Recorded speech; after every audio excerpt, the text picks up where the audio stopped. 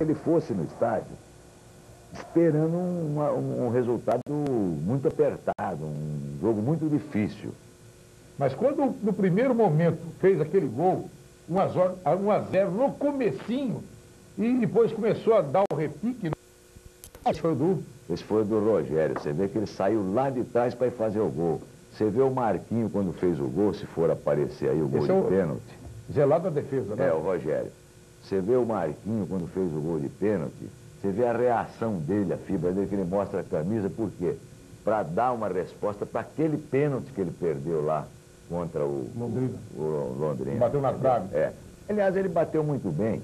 Isso é uma infelicidade que qualquer jogador pode sofrer. O Pelé sofreu. Centímetros para cá, centímetros para lá. Né? Se ela pega um centímetro para cá, ela vai para dentro.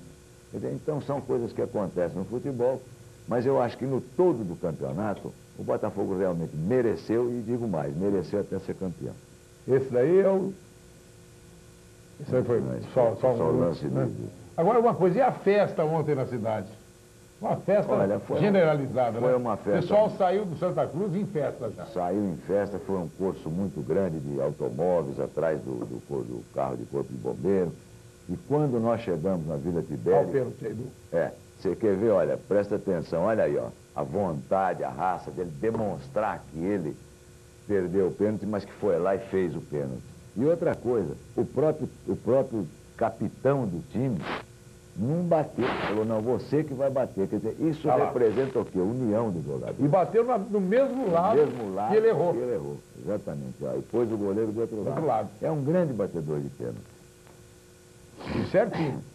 Agora, uma outra coisa, a questão é, do goleiro que o goleiro sempre também ajuda muito, depois né? um goleiro bom, dá tranquilidade lá atrás, né, Ricardo? É, foi um goleiro que foi, deu muita satisfação para o Botafogo, Alexandre. De onde você o trouxe? Ele, ele tinha saído do Santo André e fez o Campeonato Paulista aqui pela Francana. E agora está no Botafogo e agora realmente ele explodiu no Botafogo. Nós vamos tentar ficar com o Alexandre aí mais uma Olha a festa, aí começou lá no campo, né? É, isso foi reacendeu aquele velho estilo de, de festejar na cidade, olha aí, o bombeiro que você falou. Foi uma maravilha, né? Foi eu, a eu... cidade toda. E aí não tinha comercialismo nem Botafoguense, né? Não, aí era a cidade. Porque... Tem aquela rivalidade ainda, né, Ricardo? Tem, mas, Tem, mas se, é... se, a gente for analisar na realidade, Morandinho, estava jogando o quê? Ribeirão Preto contra, Vitória, contra o Espírito Santo. É, Cariacique, que é a cidade deles. Então, é lógico que eu acho que foi muito bom para Ribeirão em todos os aspectos. E isso é uma responsabilidade que nós que militamos na política, nós sabemos, é uma responsabilidade muito grande. Razão pela qual eu, nesses últimos dez dias, tive, fiquei muito angustiado, muito sofrido demais, mas graças a Deus... Já ontem, tem duas safeiras, né? É, tem duas safeiras. Graças a Deus ontem... Aguentaram bem. Certo. Ô, Ricardo... was walking slower before too, and she had bigger